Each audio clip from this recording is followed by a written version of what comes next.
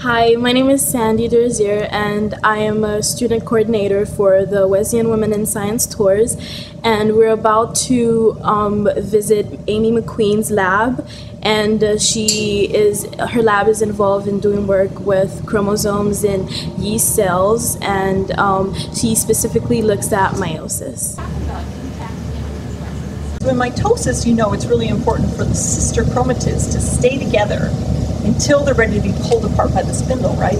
If they didn't stay together and they were kind of randomly associating with the spindle, the sister for chromosome 1 would go to this pole half the time, the, sister, the other sister would go to that pole half the time, we get non-disjunction. And we looked for regulators that actually um, ensure that the synaptonemal complex doesn't form on chromosomes, instead gets put into this ball, okay, so that in, in the background of some of our mutants, they don't pair their chromosomes, they're still not pairing their chromosomes, but instead of forming a ball, like here, if you're missing some of these mutations, some of these functions of these two genes, you now get, start to see what looks like synaptonemal complex assembling on chromosomes, but they're not paired with their partner.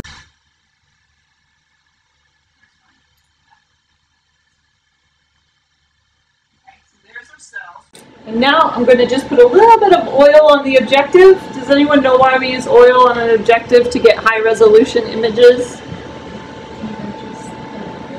It does, it, it allows the light to not be diffracted as much, that's right. So you can see the outline of the cells, right? Yeah. And I'll show you them on here as well. But go ahead and take turns looking at the outline of the cells. So the cells are moving right now a little too much to get a good appreciation for it, but they move at certain rates within the nucleus. And it's, we require quite a bit usually from undergrads who want to who want to start in the lab. Cheese. Is it on? Oh, what Say else chromosomes. Oh yeah.